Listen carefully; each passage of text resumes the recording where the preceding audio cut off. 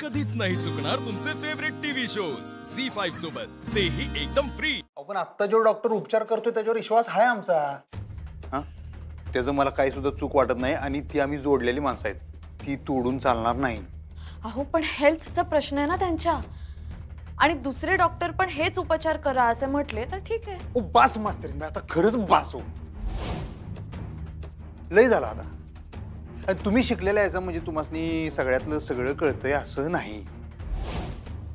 आमच्या आईसाहेब पण काय आत्ता जन्माला आलेल्या नाहीत. त्यांना त्यांच्या त्यांच्या गोष्टी बरोबर कळतात की तुम्ही कशाला त्यांच्या भानगडीत नाक खुपसालाय?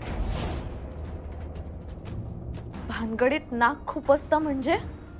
अधिपती हद्द झाली हा तुमची. या घरात सून म्हणून आलीये मी.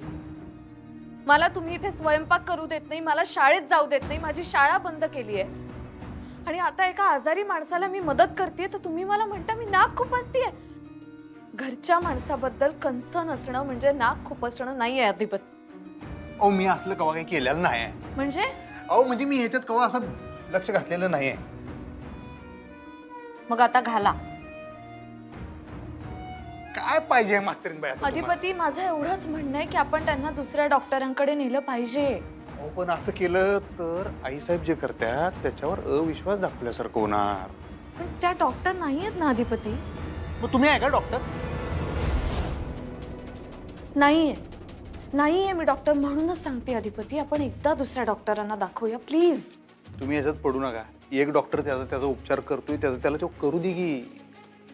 तुम्हाला सांगतो तुम्ही खरंच ह्याच्यात अजाबात लक्ष घालू नका. कारण ह्याचा परिणाम आहे ना आपल्या अख्ख्या घरावर होतोय. ते जर बिघडलं ना तर मग ती रिपेअर होणार नाही. एवढं तुम्ही ध्यानात घ्या. म्हणजे तुम्ही मला साथ देणार नाही? आईसाहेबांनी त्रास होईल असं काय करायचं नाही आम्हाला. अहो पण तुमच्या वडिलांना त्रास होतोय. अधिपती त्याचं काय?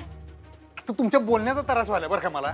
कारण अधिपती तुम्हाला माझं बोलणंच कळत नाहीये. तुम्हासनी माझं बोलणं कळत नाही तुम्ही समजून घ्या. त्यांच्यावर जे उपचार चाललेत का नाही ते बरोबर आहे बरोबर नाहीये. तुम्हाला काय माहिती? मी मी बोलले दुसऱ्या डॉक्टरांशी. का? त्याची काय गरज होती? गरज होती. हे बघा ऐका मी त्यांच्याशी फोनवर बोलली आणि ह्या विश्वासातल्या डॉक्टरांनी मला सांगितले की त्यांना सेकंड ओपिनियनची गरज आहे. नुसतं गोळ्यांवर भागणार नाही आहे फक्त फोनवर बोलून त्याला कळलं काय? दुसरा डॉक्टर पाहिजे ती? अहो नाही.